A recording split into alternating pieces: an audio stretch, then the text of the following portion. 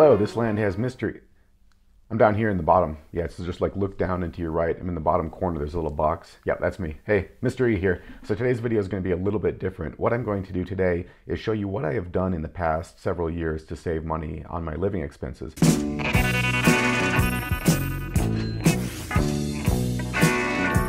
My living expenses, unless you count food, are about zero.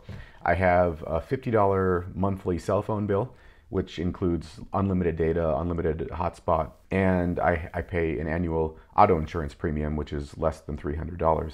Other than that, I don't pay anything else. I don't pay rent, I don't have a mortgage, I don't have any debt. And so the things that I'll show you today in this video are ways that you might be able to also cut down on your living expenses. Maybe you are sick of paying rent, uh, maybe you want to become a nomad, maybe you just want to travel more. I think there's something in this video for everybody, as long as you have some interest in, in traveling or exploring new parts of the world. I'll start off by showing you this map of the countries that I've either lived in or visited. Oh, good for you! And how was it?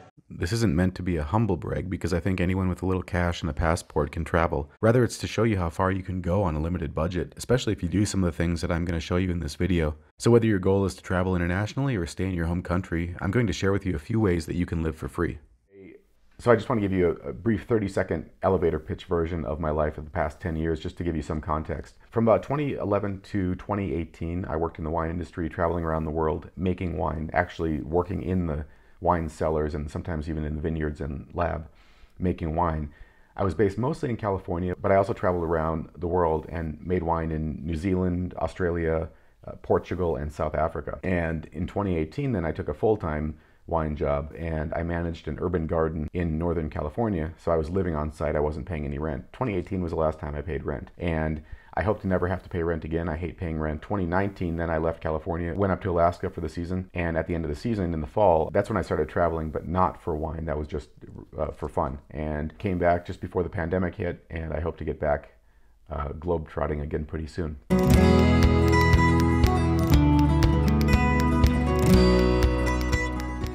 So the first thing I'll show you in this video are volunteer opportunity websites. I've used one of these. I'll show you that one in a minute. And there are several to choose from. There are probably dozens to choose from. I'm just going to touch on a, couple of them. Then I'll get into house sitting and pet sitting, which I'm doing now. As you can tell by my backdrop, I'm not in my van this time. I am currently pet sitting for a family in Denver while they are traveling for spring break. So the first thing I'm going to show you is HelpX. It's based in the UK, but there are ads worldwide. It's a work exchange website. So what you do is you find a host in, like I said, there are numerous countries where you can do this. Contact the host and apply for a, a spot there. Uh, you can do it anywhere from a couple days to a couple months and even longer if you desire. And they tell you upfront what you'll be doing. So it's all very transparent. There's a review and rating system. So I'll show you how it works. So you go up here, you click on find hosts and when you do that, it'll, it'll just give you the most recently updated in the entire world. So this is today, it's March 31st. And so this is in Portugal. Oh, it's in Alentejo. That's uh, one of my favorite wine regions in Portugal. So you can see they grow fruit and vegetables on their organically certified farm. Uh, on the farm, we need help in all areas of farm life. This can be fruit picking, fruit drying, canning, gardening, light construction, DIY work, etc. So this is in Canada. It's another organic farm stay. And they also have ratings. You can see they have eight ratings. Newman Lake, Washington, it's a farm stay. Um, La Buisson de Chardouin. That's probably actually how you say it because I exaggerate so much. And so it's based in the UK. Most of the ads you're going to see are in English. Uh, so Denmark, Nepal, another one. Oh, that's in Languedoc. I wonder if they do wine. Meals are vegan. Wine is served in the evening meal. Eh? All right, and they're non-smoking. They must not be French. Uh, so Queensland, Australia, Indiana, Quebec, Switzerland, Scotland. So I mean, it, it it's really all over, and you can travel around the world, and it's it's free. Once in a while, you'll see one that requires uh, payment, but it's usually like five or ten dollars per day. It's usually in like poorer countries where they want you to kind of pitch in. But you can see as I'm scrolling through, probably too fast for you to catch up. But there are just so many countries that you can do this in. And now that we're coming out of COVID, this is a great option for people if they want to want to get traveling again, get abroad. Uh, Sweden is very high on my list of countries that I want to visit. So let me just show you a listing and how that works. Uh, let's say I'm in North America, which I am because it's COVID. So we'll stay in the United States. Let's say I want to go to Washington because that's one of my favorite states. Click on that. I'll just leave all these blank and uh, we'll see what happens. Let's try a Lopez Island, see what that looks like. And there you can see a little bit about it. They've got pictures. Oh, wow. Okay. I might, I might pay for this site again because it looks pretty nice. Comes with a boat. So it tells you a little bit about it. The helper, he has a helper here now. She's awesome. And then here's a little bit more about it. This is a beautiful area. However, we will be roughing it, outhouse off grid for now. Hey, I don't mind that. Staying in a tour bus or a tent while we work to complete the tiny house and other projects. Cool. San Juan Islands are, are beautiful. So that's HelpX. I used it in Spain and Morocco and kind of in, in between wine travels. So in Spain, I was living in this mountain town called Montejaque. It was a bed and breakfast. There were little casitas. Every day I would just go out and work for a few hours.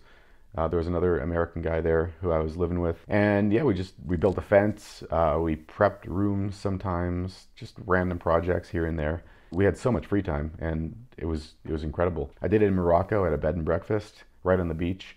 Every morning I would just wake up, prepare breakfast for the guests. There is too much butter on those trays. Not on those trays.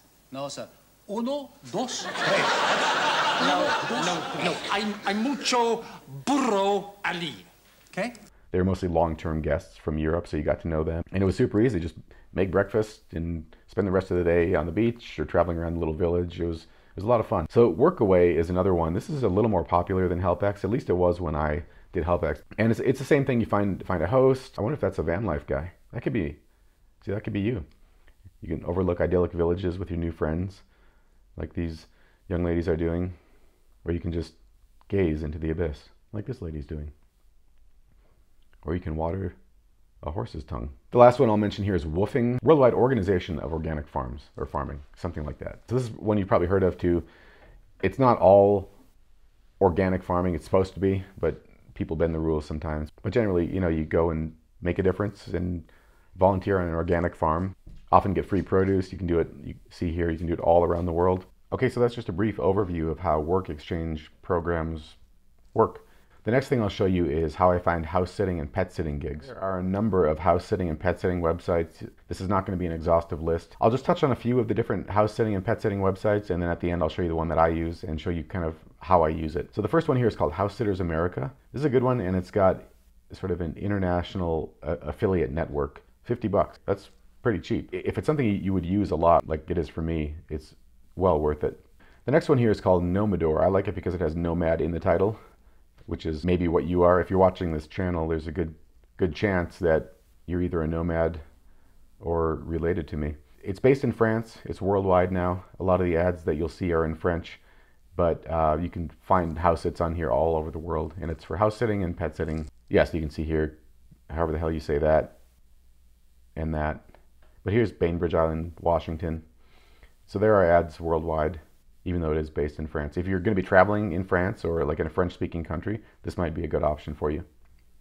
The next one is called Mind My House, and this one is the cheapest option, $20 a year. So imagine that as your living expense. If you can work remotely, for example, and you don't want to live in a van, but you just want to house it 365 days a year, you can do that for 20 bucks. And this one is called Rover. So interestingly, I just sold my mountain bike here in Denver to a guy who uses Rover, and he said he gets paid. Now, I asked him about the startup costs, and he said it's free, except you do have to pay a $35 background check. But the, the site itself doesn't charge you. Uh, the background check is what charges you, which you have to go through.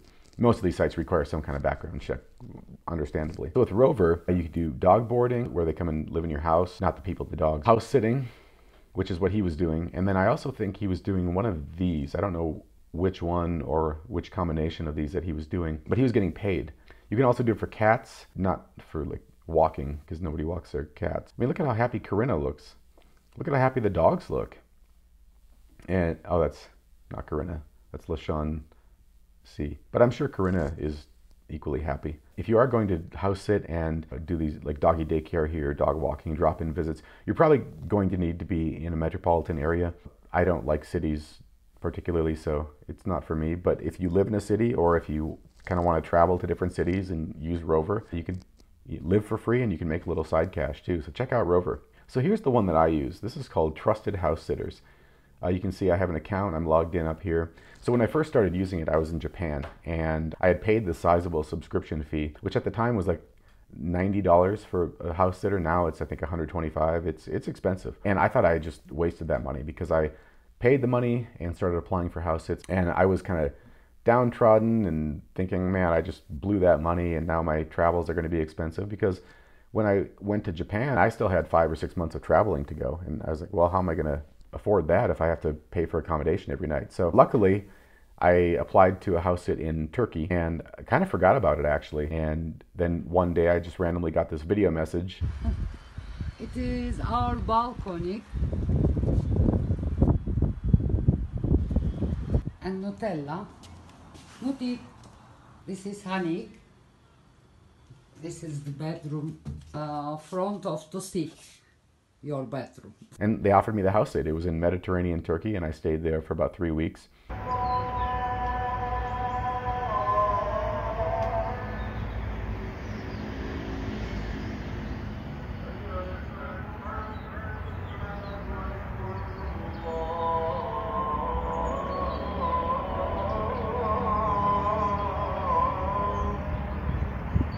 Wonderful time looking after two great dogs.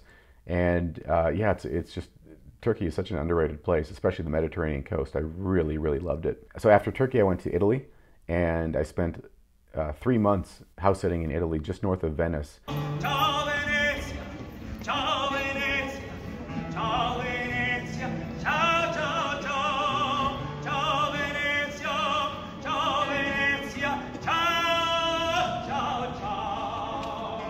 South of Valdobbiadene, which is Prosecco country. If you're a wine person, you, you might might know that. A couple hours south of Cortina, which is where the Olympics are going to be in a few years, the Winter Olympics. The homeowner was American. She had a bunch of cats that I looked after and some foster cats too. And I used her grandfather's old bike. Her grandfather had passed away many years earlier, but she still had his bike. It was from like the 30s or 40s, and so I would just travel to all these different villages. I was living in a small village. I would bike to other small villages, have lunch, have coffee, whatever. Or I'd bike to the train station, lock up my bike, and in 45 or 50 minutes, I'd be in Venice. I spent two or three days a week in Venice because it was just such an incredible place. I could get there on the train for five euro. And then after Italy, I flew up to the UK and I did a house sit on a barge in the Brighton Marina, about an hour south of London. I was pet sitting for two Chocolate Lab sisters and their older brother, Peyton. They loved each other very, very much. After a month in Brighton, I went up to Liverpool and uh, I had never been there before, so I did the whole Beatles tour and the Magical Mystery Bus. Uh, drove down Penny Lane, listening to Penny Lane. Went to all the Beatles childhood homes, and I'd highly recommend that if you ever get up to Liverpool. This is how it works. So I click on that. There's a map here if you want to just kind of search generally by region, or you can search up here in the search box and uh, click on the area that you want to go. If you don't do any of that, it'll just give you the most recent listings here. This site is also based in the UK, so you're going to get a lot of ads for house sits in the UK. Bahrain, wow, that would be cool. I've never been to Bahrain. Iowa City, that looks like a nice little place. Let's find a place that we can all go together and have some fun. I like Switzerland, but I don't want to go there right now. Uh, this is where I am now. Not this house sit, but I'm in Denver at a different house sit. But actually, I could apply for that, depending on my mood. Ooh, let's go to Tucson. Actually, it's July and August. Um, but that looks pretty nice. Okay, you definitely need that if you're in Tucson in July. But that looks like a wonderful house.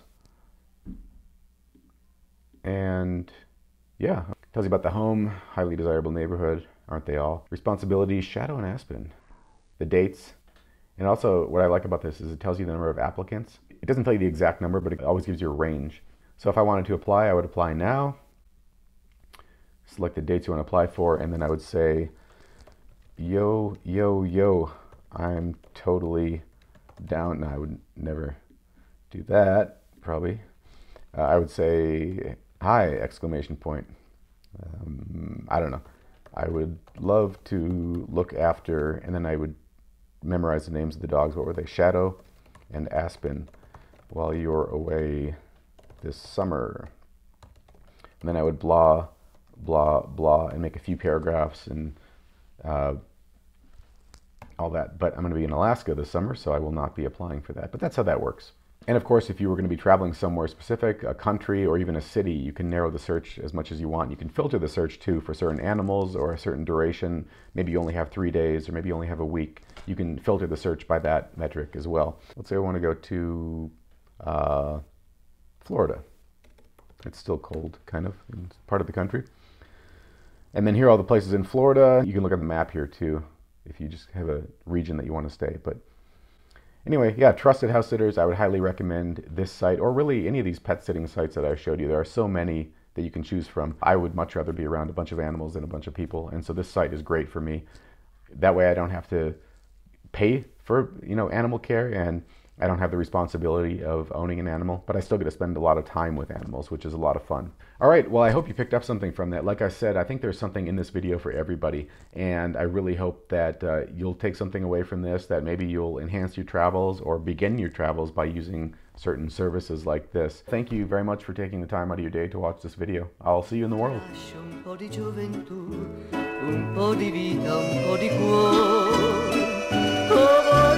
Piangere nel lasciarti ancora. Ciao Venezia, ciao Venezia, ciao Venezia, ciao ciao ciao.